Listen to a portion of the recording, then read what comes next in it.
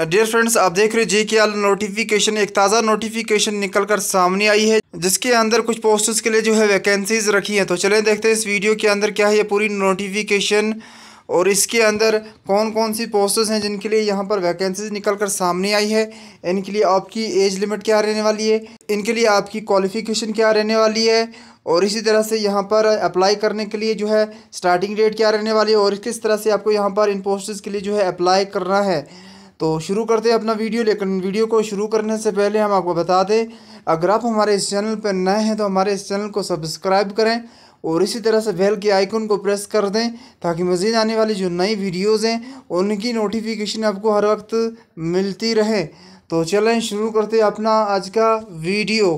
Dear friends आप यहाँ पर देख पा रहे हो, यहाँ पर government of Jammu and Kashmir Sheri Kashmir institute of medical sciences Soura Srinagar की तरफ़ से ये एडवर्टाइजमेंट नोटिफिकेशन निकल कर सामने आए है चौबीस सात दो हज़ार तेईस को।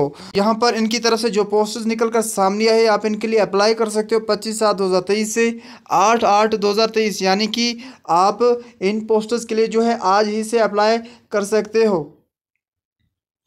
तो चलिए अब देखते हैं यहाँ पर कौन कौन सी हैं ये पोस्ट इनके लिए कितनी वैकेंसीज निकल कर सामने आई है, क्या रहने वाली इन पोस्टर्स के लिए आपकी क्वालिफिकेशन और इसी तरह से क्या रहने वाली यहाँ पर आपकी सैलरी पर मंथ है तो सबसे पहले बात करते हैं यहाँ पर स्टाफ नर्स की तो इसके लिए जो आपकी क्वालिफिकेशन रखी गई वो है बीएससी नर्सिंग या इसी तरह से पोस्ट बीएससी नर्सिंग डिप्लोमा आपने किया होना चाहिए।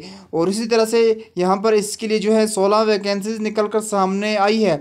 और इसी तरह से अगर आपकी यहाँ पर सिलेक्शन हो जाती है तो यहाँ पर आपको तीस हज़ार सैलरी जो है वो पर मंथ दी जाएगी। इसी तरह से जो दूसरी वैकेंसी निकल कर सामने आई है, वो है प्रोग्राम असिस्टेंट इसके लिए जो क्वालिफिकेशन रखी, वो है B C A from a recognize institute or ten plus two with three years diploma in computer sciences engineering electronics and communication engineering इसके लिए यहाँ पर एक वैकेंसी निकल कर सामने आई है और यहाँ पर जो मंथली सैलरी जो है आपकी रहने वाली है वह है चौबीस हज़ार।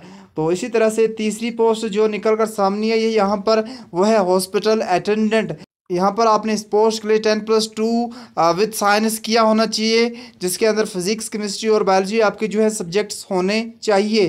तो इसके लिए यहाँ पर जो है दो वैकेंसीज निकल कर सामने आई है, और इसी तरह से पर मंथ सैलरी जो है वो आपकी पंद्रह हज़ार इस पोस्ट के लिए रहने वाली है।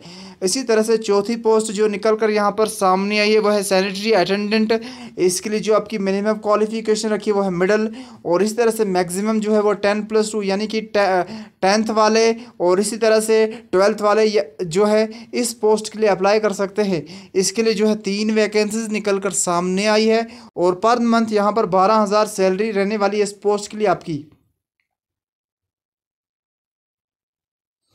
तो अब बात करते हैं यहाँ पर एज की, यानी कि आपकी एज क्या होने वाली है इन पोस्ट्स के लिए? यहाँ पर जो आपकी एज है, अठारह से चालीस साल के बीच में होनी चाहिए।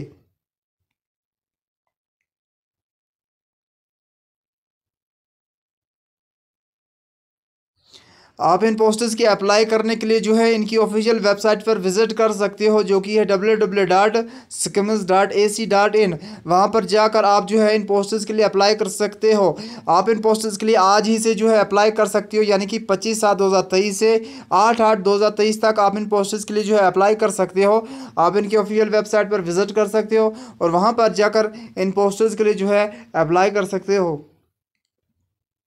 यहाँ पर इन पोस्टर्स के लिए जो है आपको फ़ी जो पे करनी है वो है एक हज़ार, यानी कि आपको ऑनलाइन ये फ़ी जो है वो पे करनी है।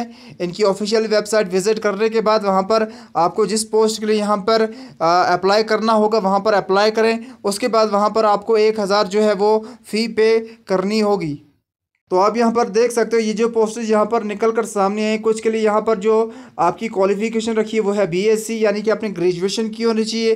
कुछ के लिए यहाँ पर टेन प्लस टू और कुछ के लिए टेंथ जो है, वो यहाँ पर क्वालिफिकेशन आपकी रखी गई है। तो उम्मीद करते हैं आपको हमारा वीडियो इन्फॉर्मेटिव लगा होगा ऐसे अपने दोस्तों के साथ शेयर करें, और इसी तरह से चैनल पर नए हैं तो हमारे इस चैनल को सब्सक्राइब करें।